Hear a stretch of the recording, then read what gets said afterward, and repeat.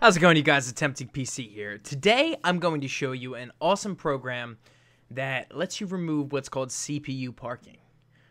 Alright, so you guys might be a little confused what I just said, blah, blah, blah, blah, blah. Okay, so, there's this thing called CPU parking.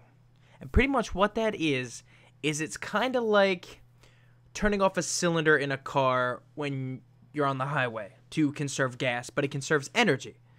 So, in the gaming community, we don't want to conserve energy. We want power, pure performance. So what this is, is this is just a really quick tutorial with a program that lets you disable CPU parking. Alright, let me explain it to you real quick. This program is called Park Control. Alright, let me just bring it up real quick for you. Okay. So CPU parking is when your CPU is kind of not under a heavy load. What CPU parking does is it turns off cores when you're not using them. And then when your CPU gets slammed, it tries to reboot those cores. And it, I mean, it reboots those cores, but there's lag when it's trying to. It's kind of like waiting for your car to get warm. So this is just a program that disables CPU parking, so your CPU is always running all cores full steam ahead so you don't notice any lag at all. Alright, so the link will be in the description to download this program. And this is just a quick tutorial on how to use it.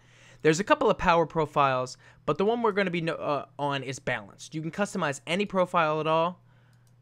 And so this is the one that we're going to do is balanced. So on AC right here, this means that it's on alternating current power, which means it's either plugged into the wall or plugged in if you have a laptop to its little charger, which is also plugged into the wall. On battery, it's self-explanatory, which means it's on battery power. So the reason it has these two is because people want to, if they have a laptop, when it's on AC, they want full power, but when it's on power or when it's on battery, they want it to be conservative and conserve energy. So I don't care for either of those. I want full power all the time because I don't really travel with my laptop. So that's what I have. I have CPU parking disabled and all my cores. These these sliders like wants to know what the percentage of your cores is, but I'm going to be 100% on all. So once you hit apply, it says new settings have been applied, and there you go. All my cores are currently running. But if I'm on AC and I only want that, you'll notice that it turns off cores right here. This solid gray means the cores are parked, but I don't want that.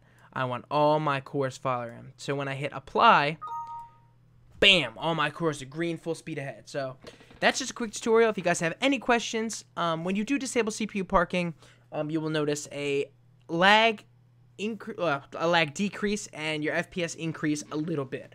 All right, so it's just to prevent latency when you guys are playing games, and it'll work for any game, whether it's the new DayZ standalone, Battlefield 4, anything out there. If you guys have any questions, feel free to leave a comment. Uh, drop a like and always subscribe for more tips and tricks like this. And I will be sure to see you guys in the future. Attempting PC out.